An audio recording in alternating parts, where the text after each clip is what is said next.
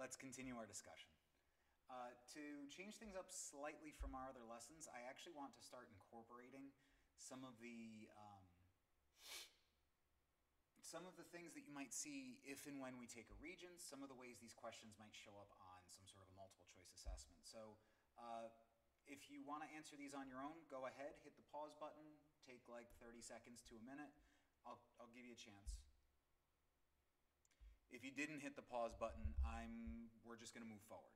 Uh, looking at the first question on the left, we're looking for a mixture of three substances. And especially when it comes to this unit, um, there's a lot of code that takes place in chemistry. There's a lot of vocabulary. So substances, don't forget, that means element. Oh my God, I can't write an E. Element and compound. And we want a mixture, so not bonded. And we want three. So uh, here we've got one and two, and that's it. And one and two, and one and two, and one, two. So their answer there is four. Which substance can be broken down by chemical means? This is again code for compound. And then again, you have to know that compound means uh, greater than one element. Now looking at the answers, they're asking us to use the symbols, and we know that elements are capital, cap, capital letters. So we're looking for more than one capital letter, and that means that that's our answer. Uh, similar to our first lesson, I just want to hit play, uh, take a look. We're going to indicate how each of the pieces of paper have been changed. There we go.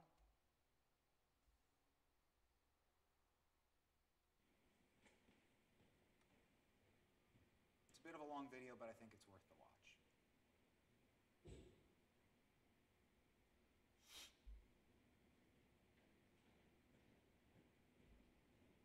I might need a second to get everything lined up.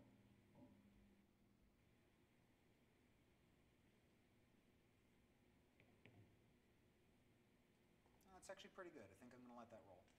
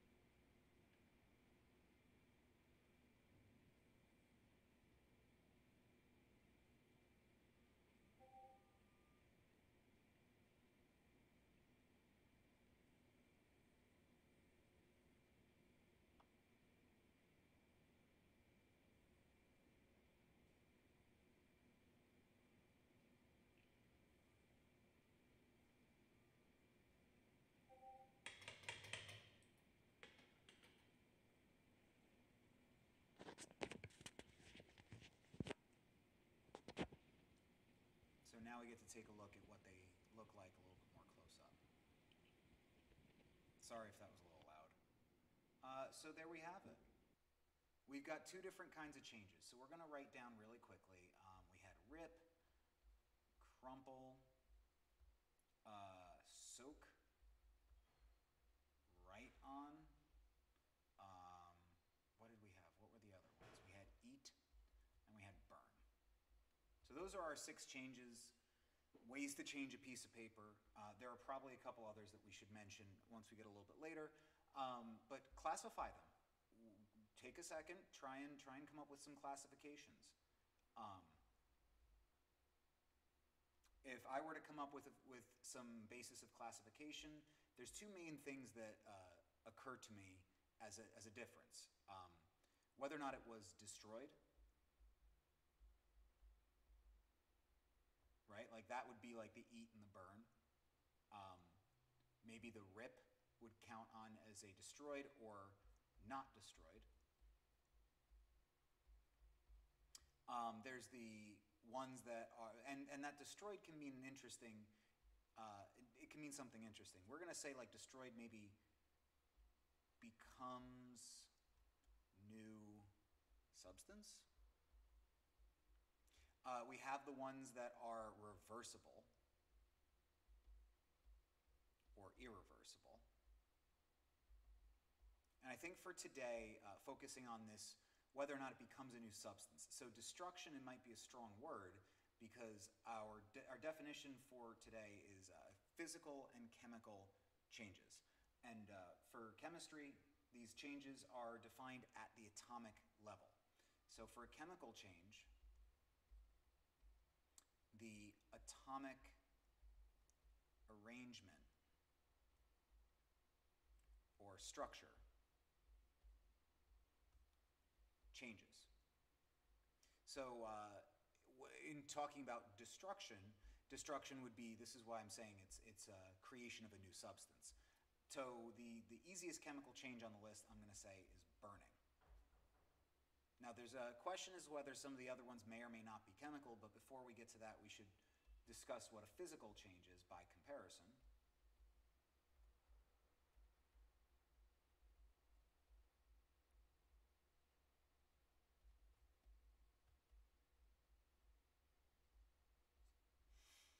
Uh, we're seeing something where the change occurs, but on the atomic level, everything is still put together the same way. So we would originally maybe say uh, ripping or soaking. Those two would be the ones that I would most want to consider something that was destructive or changing. But it turns out that ripping, obviously, a piece of paper ripped in half is still paper. So we're going to say rip and crumple. Uh, and yeah. soaking, uh, it's adding water. But if we were to try and look at the chemical composition of the paper, I think what we would find is fibers of paper and molecules of water next to each other. When I add the water, it doesn't change how the paper is structured. Some of the properties, some of the things we observe might change, but that's not what we're talking about. So adding water, and don't forget, we said adding water is kind of like, you know, aqueous means something. So that's making a mixture would be considered a physical change. Uh, of the ones that are left, eating. That's one, two, three, four. Oh, and writing. So similar to soaking it, I think writing it is just introducing a new substance, but it doesn't change the paper. It just puts those dye particles right next to. Uh, and then finally, eating. So eating's a tough one because eating has multiple parts. I think the chewing is physical, but the digesting is chemical. So that, that kind of lines things up, whether or not it's becoming a new substance. And on the, since it's an atomic level process, we should probably show what that means on the atomic level. That would be something like if we had a compound, it's going to change how these particles are put together, where you then have later something that's unbonded. Or even better, you know, you have something, some arrangement like this, and then later a new compound is formed. The way it's put together is actually switched. And then for a physical change, what we're going to see is a few things are possible, but maybe something where you have particles arranged a certain way, and then at some later time, the particles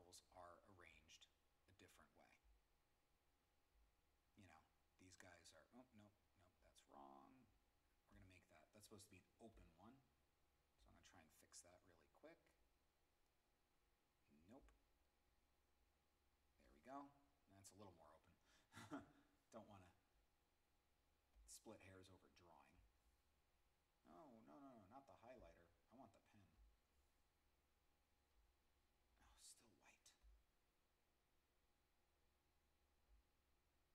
Oh, still white. Sorry about that. There we go. Um, so like the arrangement of them being very close together and then being somewhat farther apart. Um, this, by extension, leads to something else we usually discuss along with it is physical and chemical properties. And these are things that we actually define based on our macroscopic observation. So um, this would be, uh, it, the simplest way is that physical properties can be observed without changing composition. In other words, a physical property is the observation of a physical change, if that makes any sense. So um, when we're getting into these properties, though, there are some properties we haven't really spoken much about, like, uh, well, uh, color, we'll say this, color, mass, density, uh, hardness. Those of you who took earth science course at some point, these are our examples. And then chemical would then, by extension, be an observation that changes composition. And the best example of that would be how chemicals, substances, react. So to say, uh, paper can burn. It has this potential to burn. Well, you can't really tell whether or not paper burns without burning it, and the act of burning it would turn it into something else. So the only way to assess the observation is to, in fact, destroy the chemical structure, the composition, how it's put together on the atomic level. Um, there is one big thing that we should talk about in terms of summing things up, and that's a phase change. And, and in with this summary, we can also kind of touch on how it's represented in terms of symbols.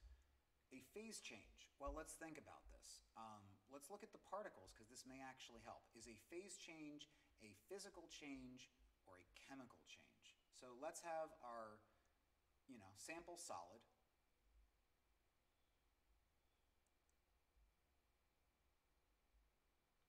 And we're going to melt it.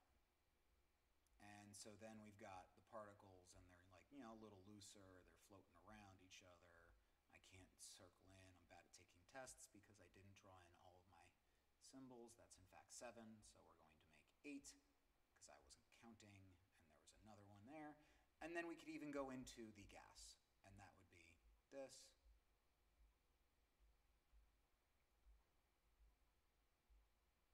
Um, to say that this was, say, element X, we'll give it that symbol. This would be in the solid phase, and this would be, well, it would be X still in the liquid phase, and then that final transition would be X in the gaseous phase. So notice that we're not changing the symbol, and because we're not changing the symbol, we're going to say phase changes are physical. And by extension, melting point and boiling point are also physical properties, which are defined as the temperature at which these processes happen. Um, so for physical changes, we can expect to see that the, the particles don't change how they're put together. This is slightly misleading because I know the solid, they're very close to touching, but they're not quite bonded, so we'll get more into that later. Uh, chemical changes, we're going to do a, a simple one here, very basic chemistry.